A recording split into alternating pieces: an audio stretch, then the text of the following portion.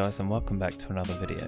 In today's video we're going to be looking at a Rust based design called the Big Bunker, following the same concept as my previous few bases, just bigger.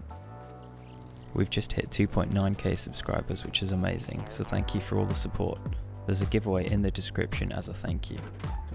Coming over to the base here we have a roof to get to the door and some shotgun traps at the side for defense. Coming into the airlock we have some more traps as well as a mirror airlock on the other side.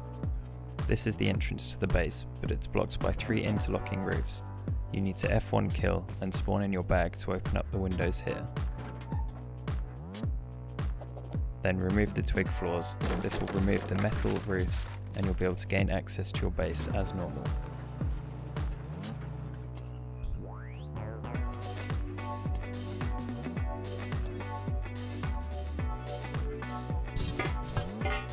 You can place some traps here which will be undrainable to prevent raiders from getting past this stage.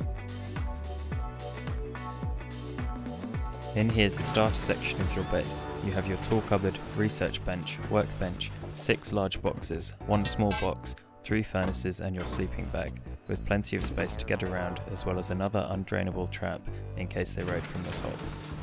Jumping up here we have an additional unlootable loot room with 4 boxes as well as your normal loot room with another 4 boxes. You can swap this out for whatever works for you. To seal the bunker back up, simply place the twig as I show here and then upgrade the roofs to sheet metal. Replace the windows and log off. Due to the distance from the top, incendiary rockets will not destroy this. I do a number of base building guides on my channel, so feel free to check these out. As always, if you did enjoy, be sure to like the videos, it really helps out, and don't forget to subscribe with notifications turned on to catch all of my content. This base is going to cost you 23.8 thousand stone, 6.4 thousand wood, 9.1 thousand metal.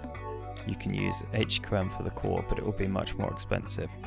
The upkeep is 2.1k metal, 4.2k stone and 18 wood.